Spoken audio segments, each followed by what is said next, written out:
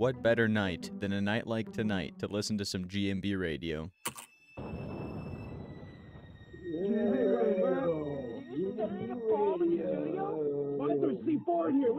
Gefällt mir schon.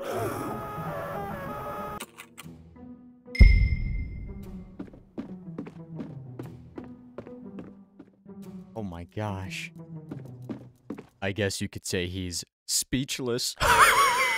On a more serious note, this is messed up. Diese Teufel sind im Keller unter uns eingesperrt. I'm gonna turn around slowly and give away my position by screaming, Who's there? Who's there?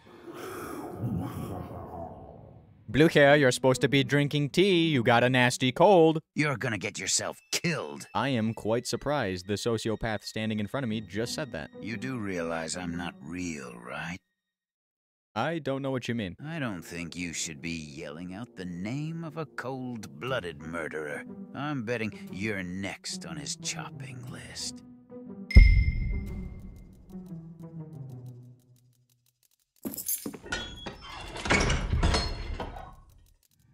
Well, this looks rather tropical, doesn't it? Out of all of the damp, abandoned dungeons that I've been in, this one actually doesn't smell too bad. I say we let the old fart enjoy his time with these disease infested rodents. Let's go back upstairs. I'm getting paid 500 francs for this. I simply can't turn around. Oh my god! Shade, Shade, we gotta get out of here. That damn general. I gotta get back to the top of the castle. I don't think these zombies know how to climb this. Ah!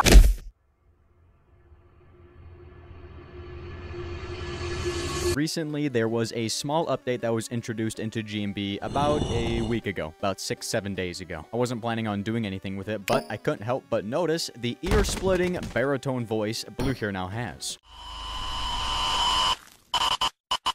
I actually completely forgot he had voice lines that were added in this update, and may I say, he jump scared me as the bass shooketh in thy headphones.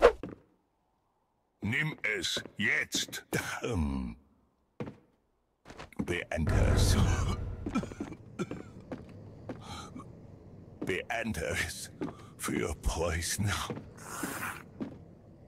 Hm. Diese Teufel sind im Keller unter uns eingesperrt. Sobald ihr das Schloss erobert, werden wir den Weg für den Rest der Armee sichern.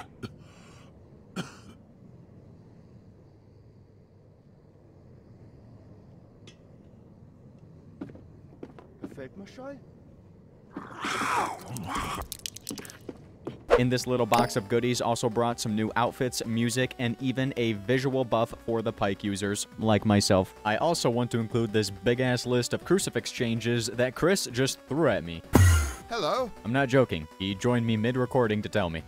So let's hop into it. Here is the list which displays the amount of time each zombie gets stunned by the crucifix now, adding igniters onto the list. Zombie stun immunity after being stunned has been entirely removed as well. And to note really quick, the crucifix does have its meter lowered by almost one-fourth, or aka 20%, if you choose to unequip it. And I know they had a lot of changes with the crucifix right away after Chris broke it in a private server. Before the update, people who did use Pike on the PC, if you were in third person, you couldn't visually see your Pike go up and down when you moved your camera up and down. However, if there were zombies above you or if a teammate did get tackled, you could be in third person with the Pike and still get those zombies off, as long as you look down. If you did go first person though, then you could see the Pike visually go up and down. So it was applied to third person, you just couldn't see it. However, in this update, you can now see yourself go up and down. So I think this is just a visual benefit to add on to the immersion that this game brings.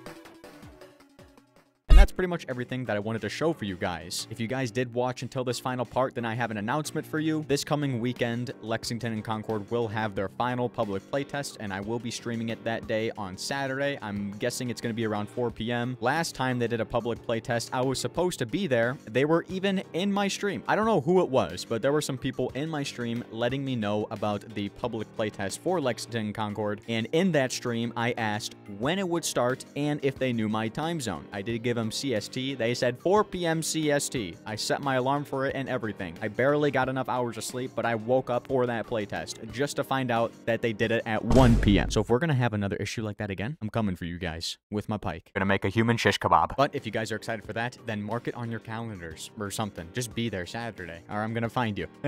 and I will kill you. Anyways, guys, that's gonna be it for me. My name is JMT, and I will see you in the next one. Goodbye, lads.